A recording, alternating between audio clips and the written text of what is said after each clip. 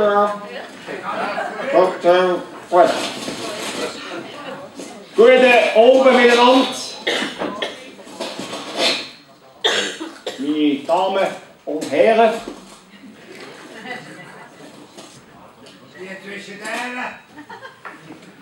Sie sind ja alle wahnsinnig, ohne Mundschutz rumzulaufen. Ganz Wienisau ist versichert.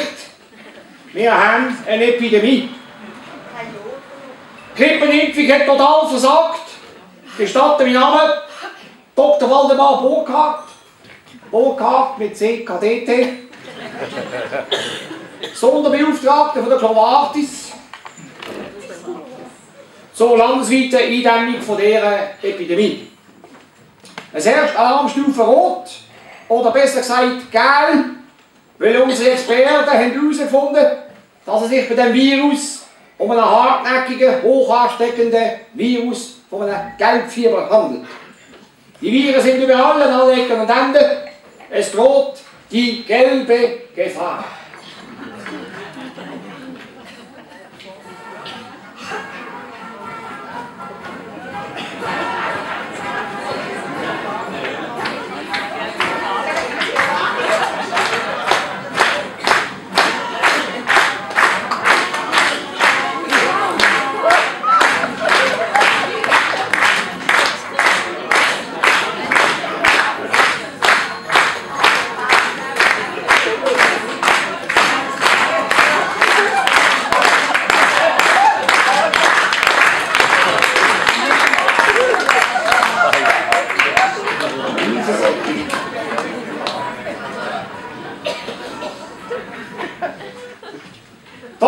Jetzt so ein Prachtexemplar von dem Virus Postalis.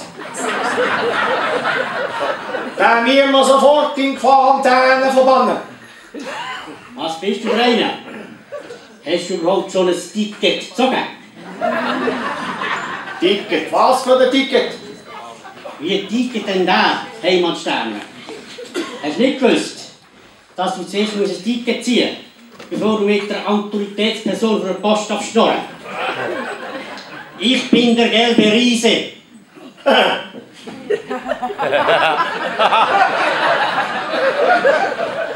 Der kleine Virus ist, glaub ich, grösser wahnsinnig geworden. Dabei ist unsere Basler Fastnacht UNESCO Welterbe. Jetzt kannst du auch böse. Und unseren FCB Meister und Tabellenführer. Im Gegensatz zum FC Luzern, der da hinter... Ruhe, reicht nicht. An unserer Fachlicht wird Deutsch geschnurrt. Entweder Tosti sofort integrieren und so reden, dass man auch versteht. Oder sonst gehe ich heim und du kannst das Theater selber weitermachen. Hast du verstanden? Ja, aber... wenn- Nicht aber! Hast du verstanden, habe ich gefragt. Ja, ist ja gut, Steffen. Eben, es geht ja. Aber das Problem ist damit nicht gelöst. Der Gelb-Virus ist omnipräsent, wenn du posten Vom Hotel Posten über den Postplatz, der alten Post bis zur neuen Post, alles gelb. Bahnhofstrasse wird zur Postgasse. Und die nächste Post ist auch mal fertig da. Im Sigristenhaus hinten, im Heilig Blut, dort steht eine Filiale von der Postfinance. Mit einem äh, vergifterten Hochsicherheitstrakt vom Fenster. Reine Verschwendung. Typisch Banken. Für das hätten sie ans leere Amtsgefängnis können nehmen Haben sie wollen, aber der Kantonalbank Schuppen den Einspruch gemacht. In der Räppalimatt hinten entsteht ein nationales Logistikcenter für die eidgenössische Flaschenpost. Im Ostergau kommt mit Post Ost und das Teil gibt es eine Gückali Post. Und für alle Kunden gibt es beim neuen Lindenwirt gratis ein Glas Schülermost. Postagentur Ormat reagiert innovativ auf die Eurokrise. Dort kannst du im Postomat bereits griechische Drachmen aussagen und damit im sämenden Sagerli hinten zahlen. In Sachen Eurokrise ist Willisau sowieso der Zeit voraus. Wir haben das gesehen und rechtzeitig den Aldi, den Lidl und den Müller angesiedelt. Statt auf Konstanz rausfahren, kannst du beim Posten daheim sparen. Aldi, Lidl, Müller. Mensch, ist das ein Knüller.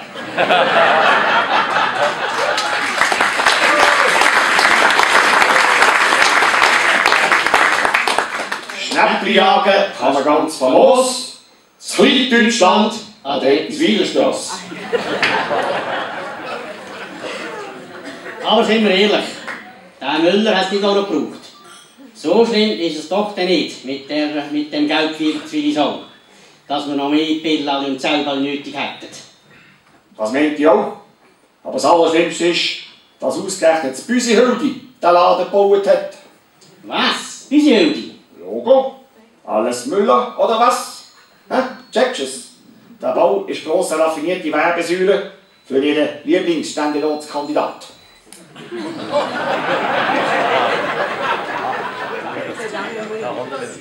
Dame Annemann. Was für eine clevere Frau. Aber was, wenn der nicht gewählt wird? Der verkauft das Büsihildi den Laden einfach im Selfie Müller von Baden. Und der eröffnet dann ein nationales Forschungszentrum für Personenfreizügigkeit. Oder es gibt eine weitere Post für posttraumatisierte Wahlkämpfer. Interessant ist auch noch das neue Motelprojekt an der Eckiswilerstrasse. Mit dem komischen Namen Peter und Paul. Mensch, gibt das so ein Etablissement, so ein spezielles, also ja halt, ich meine, vom Mann zum Mann. Nein, nein. Sicher nicht gerade neben dem Bestatter. Der ist nicht so heikel. Mit dem Sportrock im gleichen Gebäude ist er ja auch ins Joint Venture eingegangen und dort die Schnapsleichen zu einem Sonderpreis entsorgen. Wenn er nur keine Scheintoten verwünscht, he?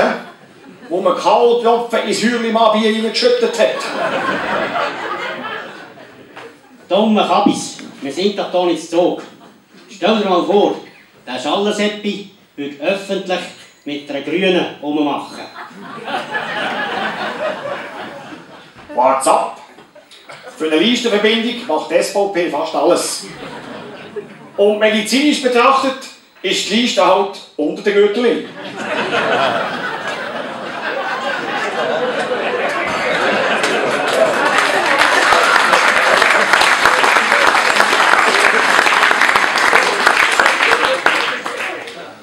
Ist ja, je, ist ja je alles Wurscht in der Politik. So ähnlich lautet das Motto vom Regierungs- und Kantonalratspräsidenten. Die Wurst ist tatsächlich ein verlässlicher Indikator für die politische Gesinnung. Nach dem Motto, zeig mir, wie du bist, und ich sage dir, was du bist. Also wenn jemand beim Wurstessen gabelt zuerst ein bisschen ans eine und das andere Ende von der Wurst setzt, den Vorgang mehrmals wiederholt und dann in der Mitte anfängt, ist er bei der CVP.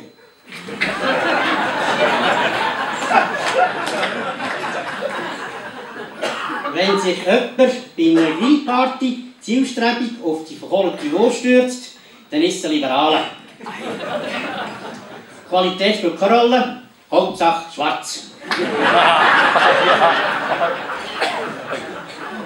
Wenn jemand laut den Schübli bestellt und der ganz diskret das Filet isst, ist er bei der SP.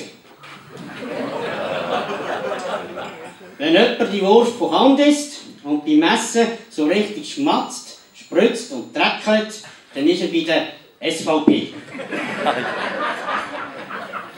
Wenn jemand mit der Wurst mit der Weine von der Verachtung an den Tellerrand schiebt und sich dafür mit Hingabe im Senf widmet, ist es ein Grüner. Versteht als Vegetarier nichts vom Fleisch und gibt gleich zu allem Senf.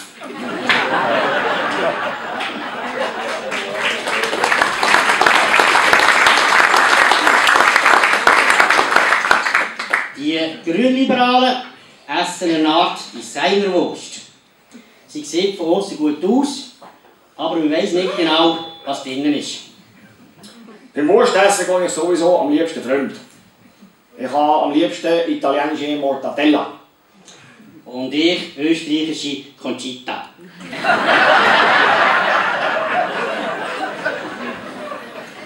Bei uns musst du ja froh sein, wenn du den Fasnacht überhaupt noch eine Wurst bekommst. Die halben Beizen haben den Laden zu. Der beste Willisauer Gastronom wird jetzt sowieso zu Gegner. Seine Hausspezialität Ankerbach vom Ankerbach.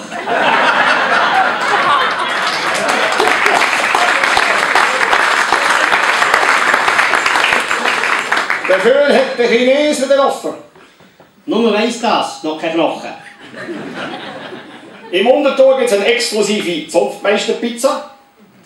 Bloß, dass sie die Linie auf der Karte zum Heimivater gemacht haben. Und die neueste Innovation vom Türli, Pizza-Service Telenapf. Wenn Sie an der Fasnachtseröffnung kannst bestellen kannst du am ersten Mittwoch abholen.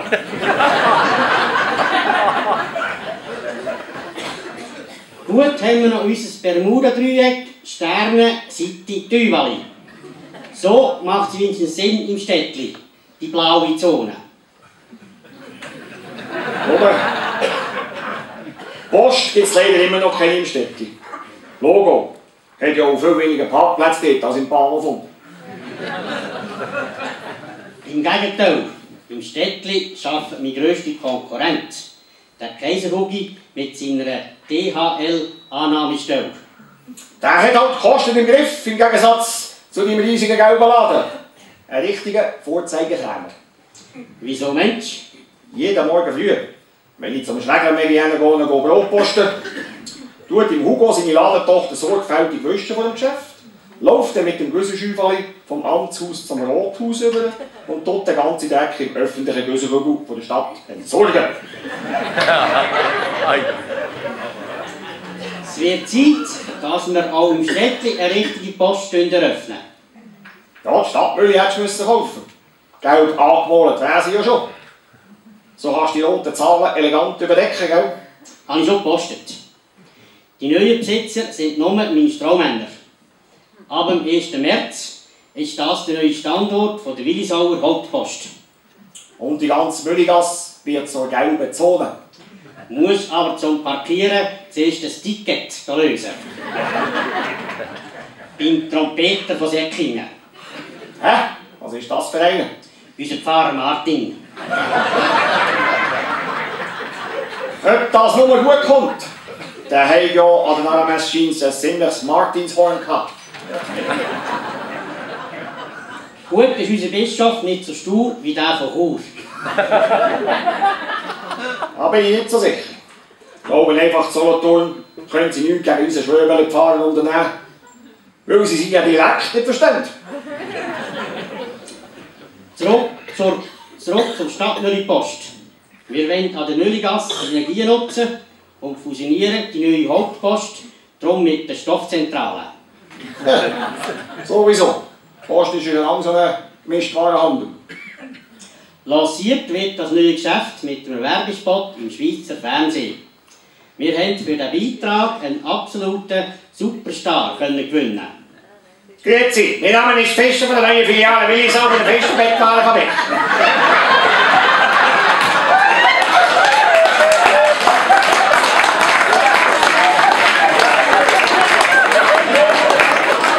Wir fabrizieren nordische Bühne und höchste Top-Qualität in jeder Größe und verkaufen direkt ab Fabrik.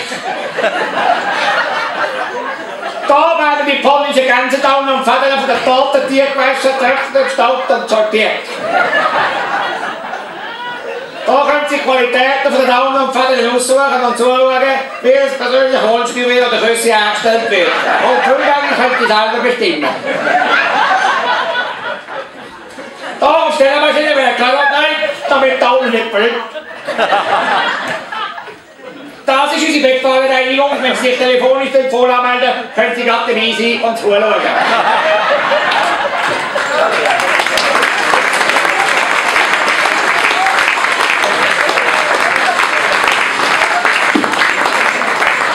Wir freuen uns auf Ihren Besuch in der neuen Filiale von der Fischer Bettwarenfabrik hier im schönen Deckli Willisau.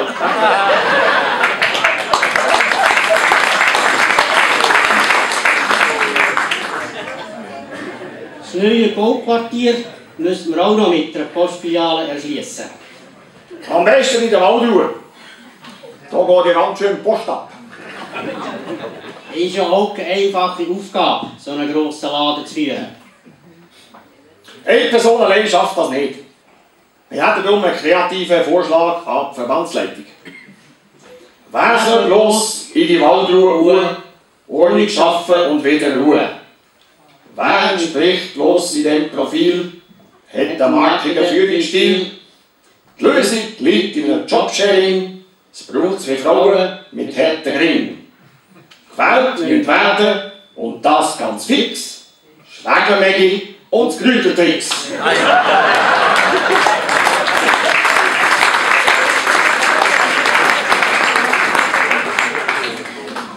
So, es ist Zeit. Wir kommen zur Verleihung von den beliebten Post Awards für die grössten Flops vom Jahr 2014. Platz 3 geht an Präsident der Stadtmusik und Brandschutzexperte Hans-Uri Bettig. O Tannenbaum, o Tannenbaum, die Tür sind deine Blätter. Du brennst so schön zur Weihnachtszeit, kein Feuerlöscher, weit und breit. O Tannenbaum, o Tannenbaum, es fehlt der Buchali Brandschutzschaum. Platz 2 geht an Knox Troxler. Spät am Abend von Luzern will der Knock schnell heimwärts gern. Fährt im Zug bald an von Pfusen, döset weiter in Wolhausen. Du die Mäntelbuch verwachen, das allein wäre schon zum Lachen. Auf Wolhausen zurück geht's geschwind, spurtet wie der riesige Wind, hechtet in den nächstbesten Wagen, bald schon hört man Knocks laut klagen. Dami, ich will so gern heim, doch jetzt bin ich zweiteste.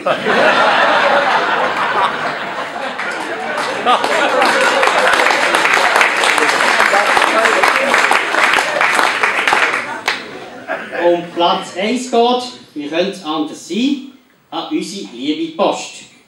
Sie überkommt den Preis für ihre innovativen Öffnungszeiten.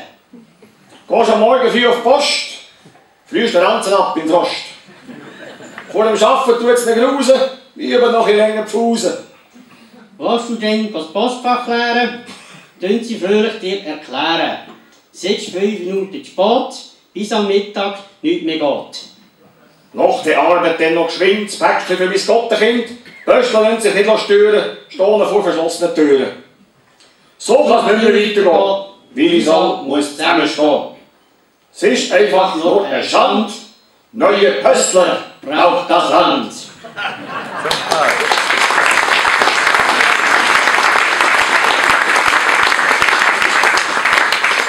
Nur bloß, wo nehmen wir die her in der heutigen Zeit? Ja, ich hätte schon eine Idee. Der Gali. Und der Steffen, Gali. Steffen, Gali. Steffen, Gali. Steffen.